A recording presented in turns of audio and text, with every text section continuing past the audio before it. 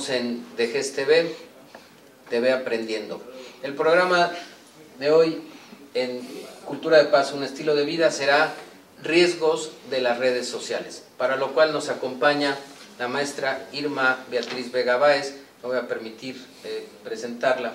Eh, la maestra es, eh, tiene una maestría en Administración y Gestión Educativa en la Universidad de La Salle. su formación profesional es profesora de Educación Básica y también licenciada en Psicología Humanista. trabaja como coordinadora del plantel de la escuela Aberdeen y, y en el Instituto de Investigación y Estudios para la Paz colabora en algunas investigaciones que, que, realiza el instituto. Irma, buenos días. Hola, ¿cómo están? Eh, el tema de hoy en Cultura de Paz, un estilo de vida, es los riesgos que hay en las redes sociales. ¿Qué nos podrías hablar de eso? Mira, eh, las redes sociales están eh, de moda, en pleno apogeo. Cada día este, nos lanzan una aplicación o modifican alguna de estas para comunicarnos con los otros. Y bueno, siempre la comunicación, el proceso de comunicarme con el otro implica riesgos, ¿no? Primero entenderle al otro lo que me está diciendo, eh, interpretar, ¿no? En la misma forma el mensaje, eh, decodificarlo y dar una respuesta a él. Y entonces desde la comunicación ya por eso tiene riesgo. Y mucho más en esta cuestión de las redes sociales que a veces sentimos que son anónimas, que las tenemos prendidas o permanentes 365 eh, días, 7 días a, a, la semana, 24 horas y no las apagamos y no nos separamos de ellas por nada. Entonces, bueno, pues ahí los riesgos empiezan a ser mucho mayores. O sea, lo que quiero entender que el riesgo es desde el uso mismo y que, bueno, las redes sociales las utilizamos básicamente para la comunicación, algo que es totalmente humano. Comunicarnos nos humaniza, diría desde, desde Aristóteles, en los, con los griegos y en la actualidad muchos autores como Maturana que dicen que la comunicación, el lenguaje es lo que nos humaniza. Y, y esto es lo que se buscaría eh, eh, con la comunicación digital, pero hay riesgos, dices, como es, uno es la adicción y otro que la comunicación no se dé de una manera adecuada y son riesgos. Pero esos son los riesgos propios de la comunicación. Pero de las redes sociales como tal, o sea, en esta forma inadecuada de usar algunas personas eh, en las redes sociales, ¿cuáles son los riesgos? Mira, por ejemplo, para los adolescentes, uno de los más grandes riesgos que hay es este grooming, el ir pescando víctimas con una eh, eh, este, agresión sexual, con una perpetración de este, violencia sexual, ¿no? que es fundamental e importante. Y los adolescentes aceptan a todo mundo en sus redes, le dicen que sí para tener más seguidores, más followers, entonces no saben si el otro de verdad es alguien de su edad o es alguien con una este, fachada que los está engañando para cualquier cosa. Bien, entonces lo que, lo que debemos de tener cuidado es que los jóvenes cuando estén en, redes sociales no, no confíen de cualquier persona. Si realmente no es conocida, no confíen en ellos. Es eso lo que nos quieres transmitir. Pero, a ver, ¿qué no? Eh, esto sucede porque en la etapa de desarrollo de los adolescentes buscan ese sentido de pertenencia, buscan ser reconocidos, entonces entre más palomitas de seguidores tienen, se sienten digo, y, es normal o es algo de su proceso de desarrollo, se sienten más aceptados? Sí, mira, justamente por querer pertenecer y esta necesidad de la popularidad los hace aceptar ¿no? indiscriminadamente a todo el mundo y creer después que porque ya lo aceptaron y está dentro de su red social, ya lo conocen, ya es un amigo, ya es alguien que le ponen un título diferente, ¿no? De solamente un seguidor. Entonces sí eh, se vuelve una situación complicada porque es como, como ya sé su nombre, ya sé quién es, ¿no? Y, no necesariamente. Eh, hay muchísimos ejemplos en las redes sociales de videos donde eh, te engañan, ¿no? Te dicen que son otra persona y los pasan y los ves, pero creemos que a nosotros no nos va a pasar nunca, ¿no?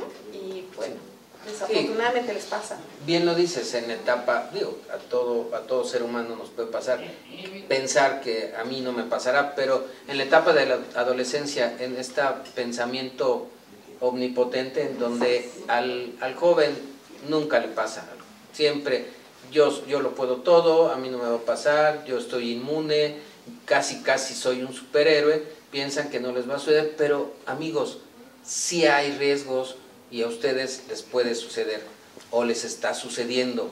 Tengan mucho cuidado con lo que dice nuestra amiga la maestra Irma Vega. ¿Qué otros riesgos hay? Mira, incluso con los pares, con la gente que sí conocen, ¿no? Eh, llega un punto en donde vuelve esto cyberbullying, ¿no? Este, el acoso cibernético, donde alguien hace un chisme de mí o dice algo y entonces todos mis pares, ¿no? Me traen en la comidilla o me genera un estrés o una ansiedad por situaciones muy concretas de que hice algo mal o me tomaron una foto o un video en una situación eh, complicada y lo suben a las redes y me vuelvo víctima de de mis pares eh, para que se burlen, para que hagan un meme de, lo que me pasó. Entonces, eso es, digamos, eh, es lo mismo que pasa en un salón de clase, donde uno molesta al otro y entonces a veces estas situaciones son muy pequeñitas y no pasan del día y a veces se vuelven tema de una semana, un mes, ¿no?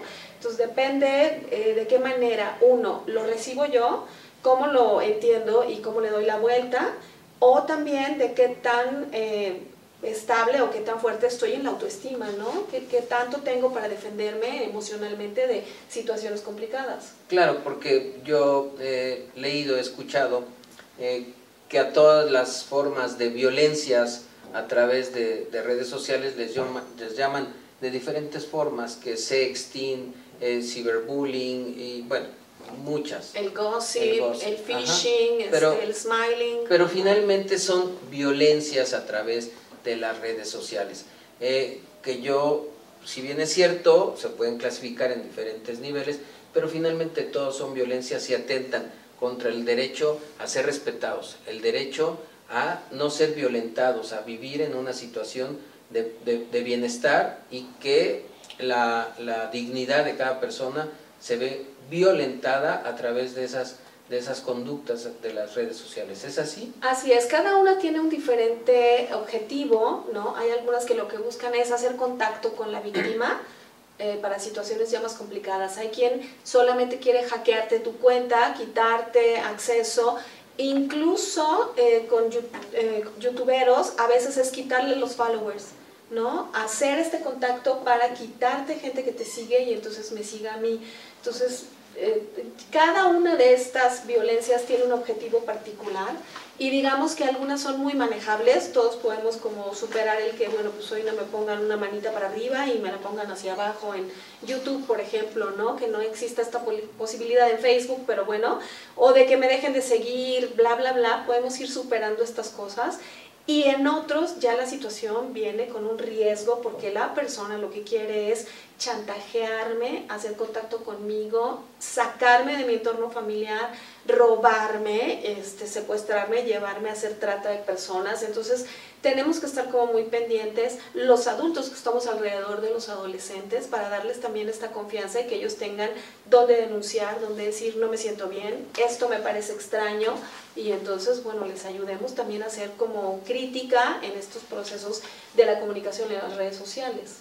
Oye, Irma, yo estoy escuchando todo esto que nos compartes de que nos van en el grooming, es como seduciendo y, pueden llegar hasta la trata de personas, la prostitución, la pornografía, todo esto.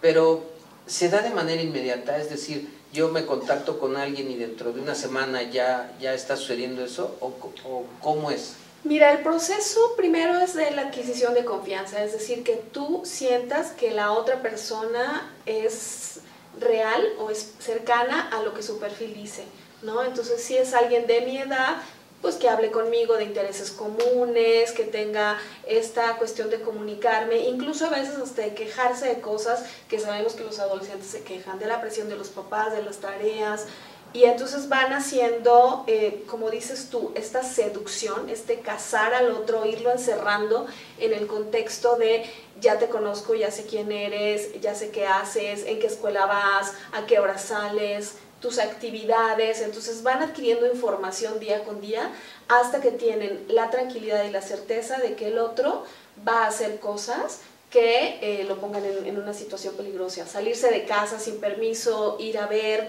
a la otra persona, eh, entonces van ganando terreno y depende mucho de las defensas que tenga la víctima el tiempo que se tarda, ¿no? Hay quien lo puede hacer en 20 días, ¿no? Y hay quien se tarda seis meses, un año, ¿no?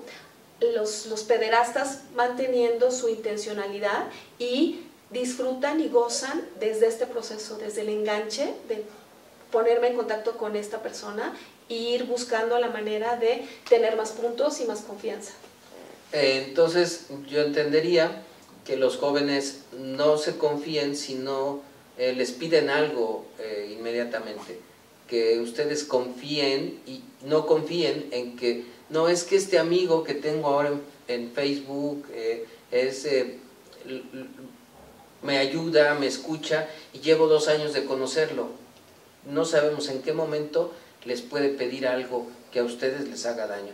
Porque, bien dices, puede ser en poco tiempo, dos, tres meses, o durar años. Ellos a eso se dedican. Tengan desconfianza de quien no conocen realmente. Sí, y para el victimario, la pasión de ir buscando cada día un contacto más profundo y más grande es lo que le da eh, una satisfacción y lo que hace que si esta víctima ha sido más resistente y no lo he podido lograr en cuatro meses, bueno, pues me aplico porque este, estoy ganando emocionalmente en, en este trabajo. Y es importante que ni siquiera busquen el contacto con estas personas con pares, porque hay quien dice, bueno, es que voy a ir con muchos amigos, ¿no? Y pues sí, y en lugar de tener una víctima va a tener ocho, entonces es eh, complicado, es mejor no arriesgarse. Y la otra situación es que tampoco accedan a retos que les hacen por las redes sociales, porque muchos de ellos buscan, mándame una foto eh, sin ropa, eh, en tales cosas, este, quéjate de situaciones con tus papás, este, escríbeme cosas que después las utilizan para el chantaje. Entonces, si tú no accedes a esto, yo le voy a mandar esto a tus papás porque ya sé dónde vives, sé cómo se llaman. Entonces, sí se vuelve una situación muy complicada. Es muy importante, hay información que es privada, que no la tienen por qué dar, o sea, su dirección, o sea, no tendría por qué darla, su número telefónico, no tendría por qué estar en Facebook para que cualquiera hiciera contacto con ustedes a través de su teléfono, de su correo electrónico. Son cosas que previenen, entonces hay que revisar. A lo mejor muchos teléfonos, eh, smartphones, lo que hacen es vincular el teléfono al Facebook ustedes lo pueden quitar. Entonces vayan revisando que no estén vulnerables, que no tengan por ahí este, rendijas donde el otro pueda aprovechar situaciones. Que entonces desde que se contactan con, con los niños, niñas o jóvenes, ellos están ya disfrutando de algo. O sea, para ellos nada es tiempo perdido. Están disfrutando desde el proceso hasta obtener un beneficio de otro tipo. ¿Es así? Así es. Entonces, entonces vean, jóvenes, no, no se confíen. Las redes sociales son muy buenas para contactarse, para obtener información, es muy bueno para obtener información, para realmente compartir espacios de comunicación con sus amigos, pero con los que sí conocen, con su familia, con sus amigos, con gente que tengan una confianza que se haya hecho, construido desde, desde lo diario, desde lo cotidiano, porque en redes sociales muchas de las personas no las conocemos y entonces van aumentando los riesgos. Así es. En este contacto personal, de día a día, de persona a persona, tíos, parientes, eh, compañeros del salón de clase, eh, compañeros de club deportivo, ahí también debemos ir eh, poniendo restricciones, ¿no? A quién sí le entrego la privacidad de mis redes sociales y con quién me limito. No es que mi Facebook lo pueda tener todo el mundo, a menos que yo me convierta en una figura pública y entonces tengo a alguien que maneja mis redes sociales y que va filtrando situaciones. De otra manera, digo, yo creo que ustedes lo ven, memes del presidente tenemos todos los días, uno, ¿no? Porque él es una figura pública y seguramente su equipo de trabajo, algunos se los filtra y otros ni siquiera se han enterado que los hicieron o que existieron. Pero tiene un aparato de protección alrededor de él. Entonces de repente en esta omnipotencia del adolescente nos creemos que como ya somos youtuberos y entonces ya tengo este 4000 followers, este no me puede pasar nada. Y al revés, entre más grande es mi red social, más riesgos puedo tener. Hay que tener cuidado. Oye, y, en, todo esto que, estoy escuchando, eh, dentro de las bondades que tienen las redes sociales, porque no queremos estigmatizar a las redes sociales, ¿qué bondades podríamos encontrar en una red social? Mira, de entrada la comunicación, el que yo me pueda mantener comunicado con gente que no tengo a mi lado, es una ventaja y una maravilla. Si ustedes tienen parientes en el extranjero, conocidos en alguna otra parte de la República, es una ventaja poderme comunicar con ellos a través de un WhatsApp, a través del Facebook, que ellos sepan lo que está pasando con mi vida, ¿no? Es una maravilla saber que mi abuela que está en Chiapas sabe de un logro que tuve, eh, sabe que de la enfermedad que, que estoy pasando, entonces me siento acompañado, que esa es la ventaja de la red social, pero sentirme acompañado con la gente a la que le puedo dar mi confianza, ¿no? Los demás ahí están y se enteran de lo que pasa, pero no necesariamente son mis acompañantes de vida. Oye, Irma, una observación. En esto que yo me contacto con, mi familia que está en otro estado de la República, en otro país, lo que ella y yo eh, conversamos o, fotos o, eh, que le envío, ¿son privados? Mira, cada red social tiene sus candados de seguridad y por eso es importante que los conozcamos. Porque, por ejemplo, en Facebook, yo cuando publico algo, vienen unos letreritos de que solamente lo vean eh, mis amigos, este, que solamente permanezca durante tanto tiempo, que solamente lo vea la persona a la que le estoy mandando el mensaje o que sea público. Entonces, de ahí de entrada hay niveles, ¿no? Pero nosotros lo vimos hace dos días que estuvo el eh, director de el, este, creador de Facebook ante el Congreso de los Estados Unidos disculpándose porque hackearon información, porque hubo gente con toda la intención de entrar a cuentas, de ver perfiles, de ver cuáles eran las preferencias de estas personas y entonces mandarles eh, información, eh, publicidad con un objetivo. Entonces, aunque creamos que lo que yo estoy publicando o subiendo es privado, alguien puede tener esta habilidad de hackear, de quitarme esa información, de que esa información sea suya. Entonces, sí es importante tener cuidado con lo que subo y con lo que publico, aunque sea solo para mandárselo a mi abuelita, porque qué tal que mi teléfono se pierde y entonces alguien más tiene acceso a él o un hacker, ¿no? Entonces lo que estoy entendiendo que no es tan privado lo que nosotros enviamos. De alguna manera se convierte en público, aunque solamente gente experta pudiera bajarlo. Así es. O sea, ahí está en algún lugar del, espacio cibernético todo lo que tú y yo hablamos, todo lo que nos eh, mandamos de mensajes, todas las fotos o videos que te envío, están en algún lugar siempre ahí, ya se quedaron ahí. Así es. A menos que yo tenga el cuidado de irme deshaciendo de esa información, borrándola o bloqueándola. Si en este momento eh, tú cambiaras de teléfono, lo que hacen las plataformas ahora es que toda tu información se pasa al teléfono, pero queda algo de esta información oculta en un disco duro del teléfono anterior.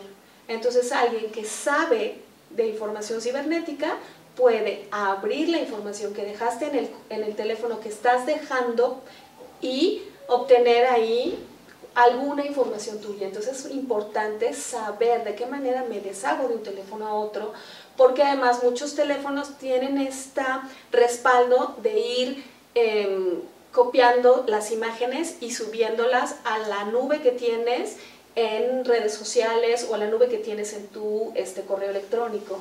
Entonces, de repente, cuando haces un análisis y dices, ¿por qué iCloud, por ejemplo, o Gmail me está diciendo que ya rebasé el número de megas que puedo tener, o de gigas, o de teras que puedo tener gratis? ¿No? ¿Por qué? Pues porque seguramente ahí tienes conversaciones, fotos, contactos, bueno, añejos que yo creo que ya ni usas, respaldados.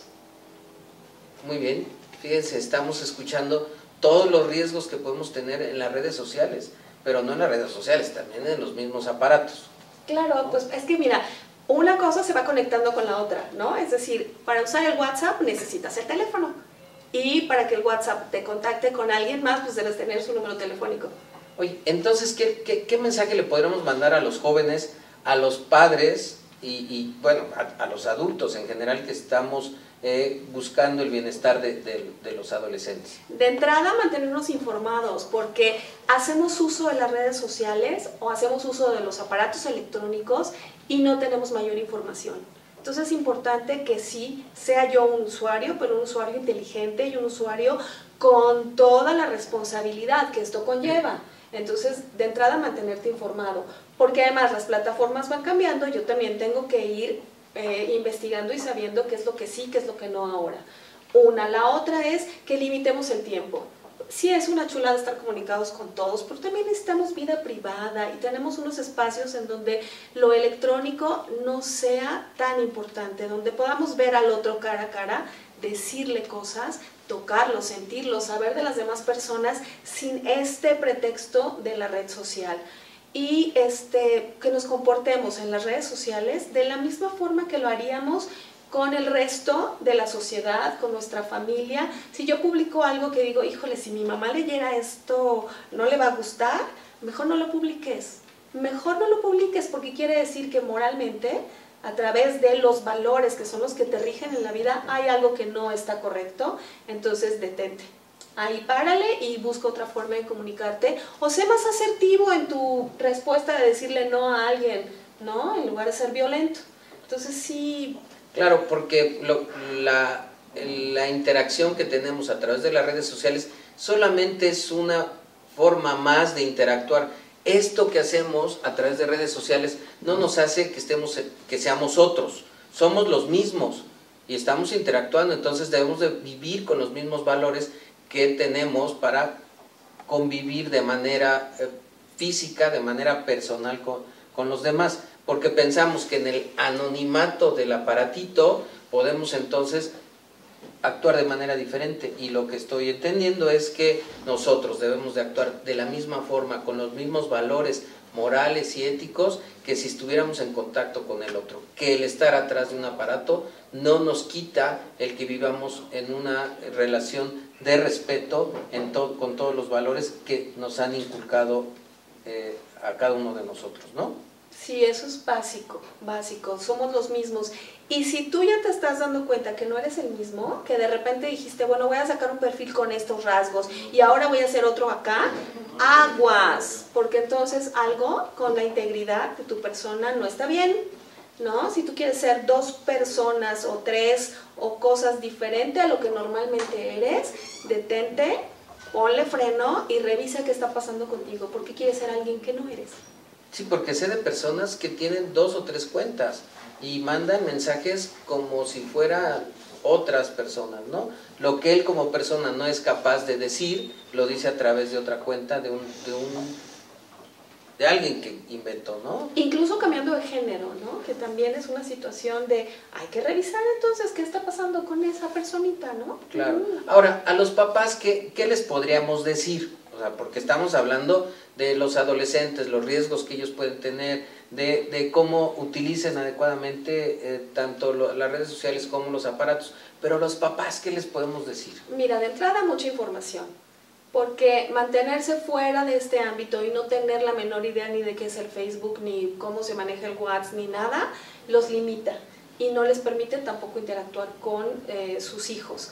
Una, la otra es que los dispositivos electrónicos en casa se utilicen en eh, lugares comunes, en donde todos podamos ver que estás escribiendo, que estás utilizando esta, esta red, eh, darnos cuenta si nuestros hijos ya están invirtiendo demasiado tiempo, si no pueden estar lejos del teléfono, si les genera ansiedad no tener conexión a la internet, porque no pagamos o porque nos quedamos sin internet y empiezan, ¿y cuándo voy a tener? ¿Y qué pasó? preocuparnos, porque ahí puede haber ya una adicción. Y, la otra es enseñarles esto, que nos tenemos que comportar de la misma manera en el ámbito de la red social que en el ámbito que lo estoy haciendo con la familia, ¿no?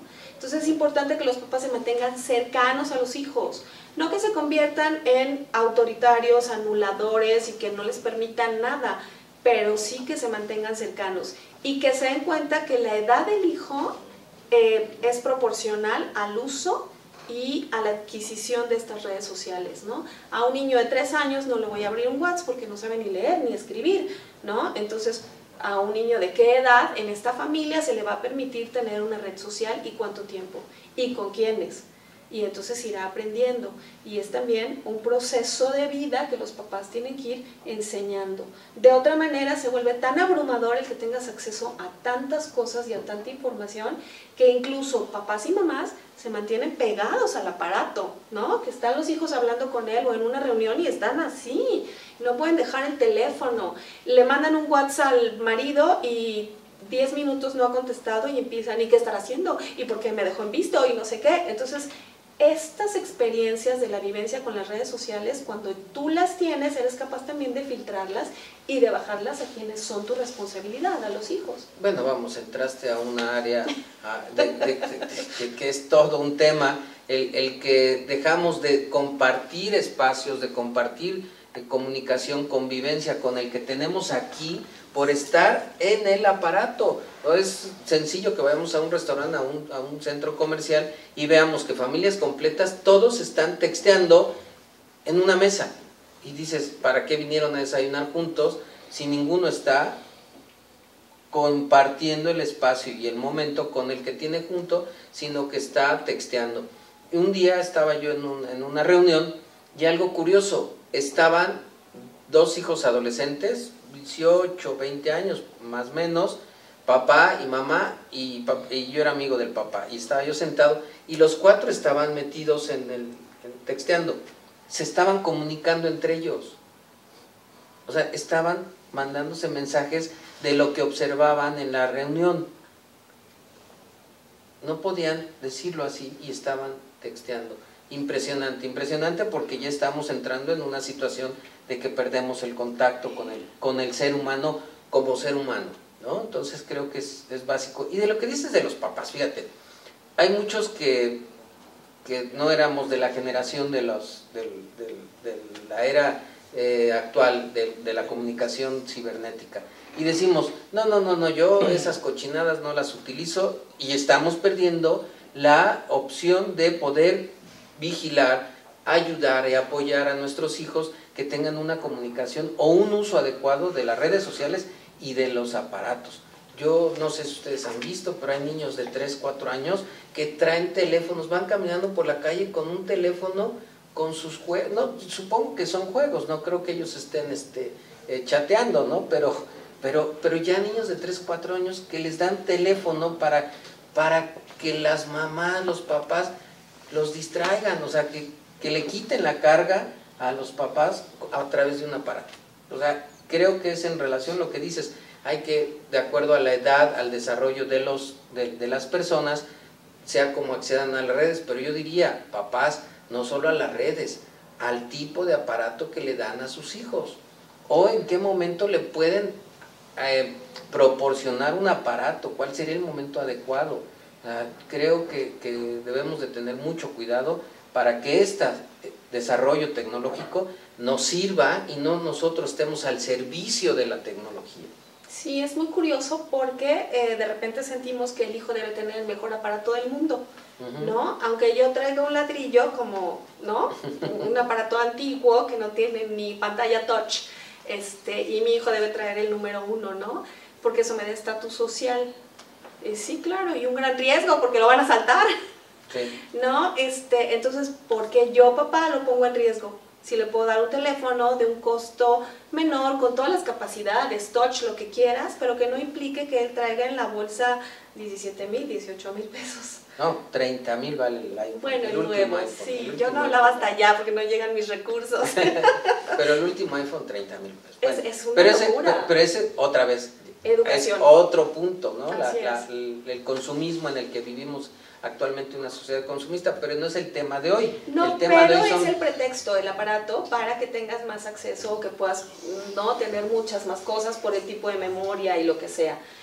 yo creo que una cosa que sí es fundamental e importante que los papás vean, que tú les estás dando un dispositivo que te permite a ti comunicarte con ellos y es para su protección y para tenerlos cercanos. Entonces, pues hay prioridades que te contesten a ti, que te mantengan a ti en el WhatsApp, en las redes sociales que necesitas para comunicarte con ellos. Y entonces se ganan el privilegio de otras cosas, ¿no? Igual que, bueno, pues esto tiene un costo y hay que cuidarlo, todas estas cosas que de repente pasamos por alto porque las damos como hechas, ¿no? Como ya está aquí el teléfono, pues ya que le pertenezca a alguien. Y son eh, parte de esta educación y parte de este proceso, porque si a mí me costó, si para mí tiene esto una responsabilidad de vida, entonces me puedo manejar diferente que si nada más es como caído del cielo. Claro, pero, pero dices eh, que lo utilicen para estar en contacto, que el Face, que... Digo, con lo que voy a decir se va a ver mi edad, pero, pero no había teléfonos celulares y nosotros teníamos límites, teníamos horarios, teníamos maneras de estar, formas de estar en contacto con nuestros papás para que ellos supieran eh, normas de seguridad que, existían para saber dónde están, con qué amigos estábamos, a qué horas llegábamos a casa, había, había límites, había unas normas que seguir y que hoy desgraciadamente se han perdido mucho, a pesar de que tengamos los medios de comunicación para comunicarnos, eh, no lo hacemos y, los jóvenes, digo, están eh, teniendo conductas poco adecuadas, estamos en una sociedad que ha perdido valores, que ha perdido la esencia de la vida en, en convivencia, en una convivencia armónica, se han perdido el respeto al otro, bueno, algo terrible, se ha perdido el respeto a la vida. ¿Cuántos no? Eh, a través de delincuencia, eh, delincuencia individual o delincuencia organizada o por trastornos eh, psicológicos, le quitan la vida a las personas.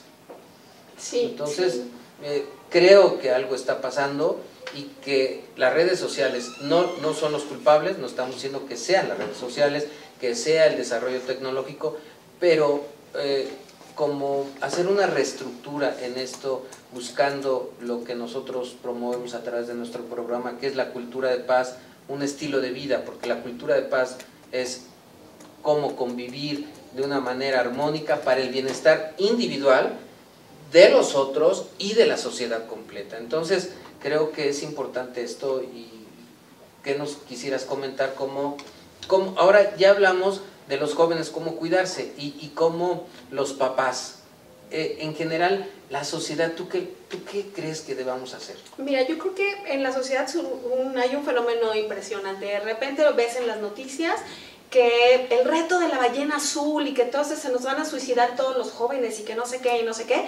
Y le hacen un escándalo impresionante a esto, pero de fondo no vemos lo que hay, ¿no? A ver, ¿por qué alguien aceptaría el reto de agredirse físicamente? A ver, ¿por qué alguien aceptaría el reto de poner en riesgo su vida por una cuestión en el anonimato de redes sociales, ¿no? Que es ahí donde socialmente deberíamos empezar a ver qué le falta a la otra persona que no le hemos dado socialmente que su comunicación se limita a ir siguiendo indicaciones y haciendo cosas que lo ponen en una situación vulnerable.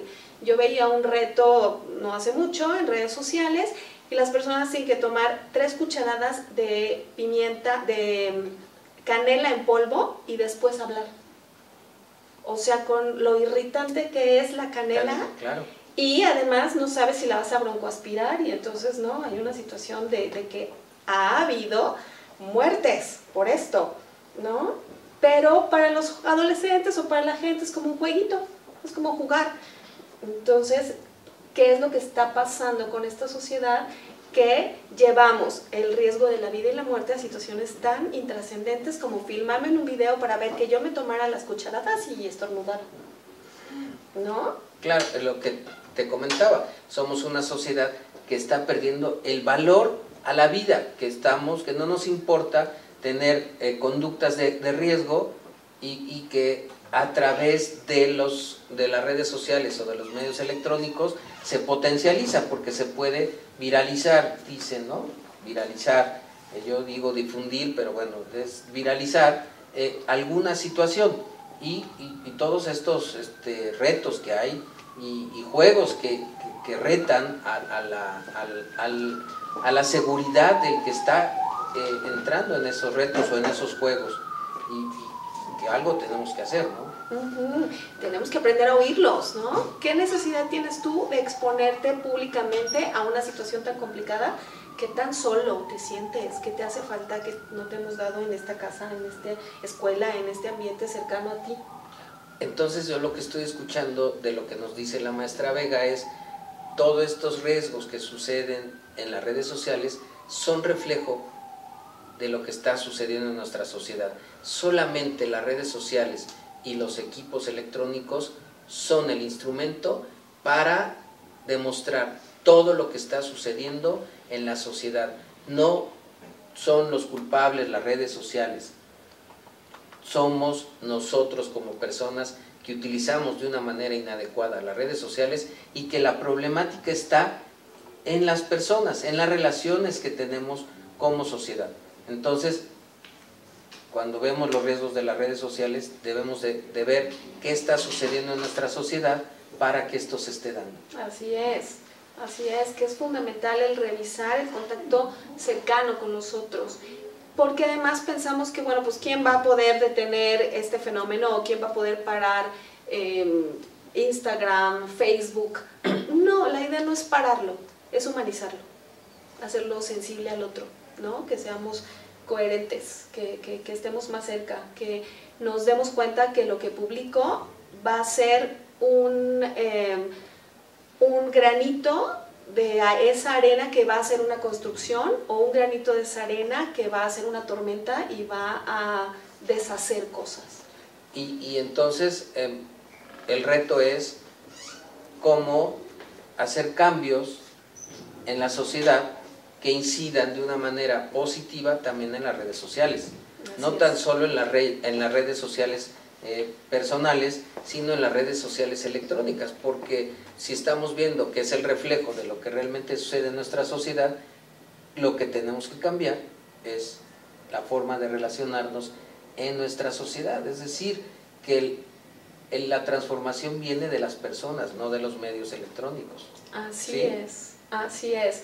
Y bueno, pues el objetivo de esto es que nos construyamos como personas, que construyamos humanidad, sociedad y que construyamos ambientes pacíficos, seguros para todos. Claro, claro, realmente eh, con todo esto es que construyamos cultura de paz, que seamos, que caminemos hacia, hacia la paz como, un, como un, una utopía, una meta a alcanzar, ¿no? Y que, y que veamos que, que la otra, el otro extremo por el que transitamos nos puede llevar a situaciones de extrema violencia hasta la muerte. Y cuando yo digo la muerte es la muerte social, la muerte del planeta, porque ahí estamos haciendo muchas cosas, no tan solo contra nosotros los seres humanos, sino contra nuestro planeta, que ese ya sería otro tema. Pero finalmente eh, las redes sociales eh, tienen muchos riesgos porque facilitan, le dan, facilitan al perverso, al, malo para que, alcance sus objetivos. Pero se pueden proteger, o sea, estamos hablando de que los papás tienen un quehacer. Así es. Proteger. Y, los adolescentes también tienen un quehacer que es eh, cuidarse, tener, eh, prevenir riesgos, pero también ya que están en esta situación, denunciar. Es importante denunciar. Cuando ustedes les digan, yo te voy a hacer daño, le voy a hacer daño a tu familia, no lo crean. Estas personas, si realmente pudieran hacer daño, ya lo hubieran hecho. Entonces, no tengan miedo, estas personas que los están acosando, que primero empezaron seduciéndolos y ahora los tienen con, amenazas, que los tienen eh, sometidos a través de la amenaza, no van a lograr nada de eso, no lo van a hacer. Ustedes denuncien todo lo que les está sucediendo. Es la mejor manera de que rompamos y que ustedes estén bien. Ya cometieron un error, no importa. Rompan ese ciclo y denuncien. Tengan coméntenselo a sus papás, a sus docentes, a sus maestros. ¿O qué otra, eh, qué otro, eh, les podrías, qué otra cosa les puedes comentar? Miren, de entrada, revisen la seguridad de sus redes sociales, de entrada, y hagan una, una revisión de todos estos que me siguen, los conozco, sé de ellos, y si no, no los conozco, pero ya los acepté, irles poniendo límites, no permitirles que entren más allá a la privacidad eh, por un lado. Y eh, por el otro, también abrir esto, en donde si yo me siento demasiado bien con uno de mis seguidores, me preocupo. O me siento demasiado mal porque me está ofendiendo, me preocupo. Y lo bloqueo, lo saco de mi red, lo saco de mi vida, se puede. Me va a seguir porque qué tal que quiere algo negativo conmigo, a lo mejor insiste mucho. Pero empecemos por bloquear, por limitar el acceso. Es lo más sano. Eh, este, nos está acabando el tiempo, ya sabes que en los, en, los, en los medios de comunicación el, la peor situación o, lo que más nos, eh, pesa es el tiempo. Y, y, para ir cerrando, esto le puede suceder a los adolescentes, que hemos estado hablando de redes sociales porque el, el enfoque era para adolescentes ¿También le puede suceder a los adultos? Sí, sí, sí, sí, sí. No conocemos realmente la intención del otro hasta que este, pues se va desarrollando una relación, ¿no? Entonces hay que tener cuidado. Y hay que tener cuidado porque a veces también están buscando robarnos la tarjeta de crédito, los números de cuentas bancarias. Entonces hay que estar eh, muy, muy, muy este, detenidos en esto, ¿no? Si te llega un correo que dice el banco, y dame tu número secreto para no sé qué, pues los bancos no hacen eso, entonces ¿cómo le voy a querer yo a otro, no? Tener cuidado, tener cuidado con todos los mensajes que nos llegan, eso de que a través de, gente que no nos conoce nos dice que somos extraordinarios, no se lo crean porque ustedes no son extraordinarios, son personas normales, tanto los adolescentes como los adultos, y, y, alguien que no los conoce no les puede decir que son extraordinarios, entonces mejor hay que fomentar nuestra autoestima. Eh, si ustedes eh, quieren más información acerca de este y otros temas que hemos tocado en Cultura de Paz, un estilo de vida, pueden buscarnos en el Instituto para la Paz en el 55 59 80 00 o en, en, las redes sociales como Instituto para la Paz.com.mx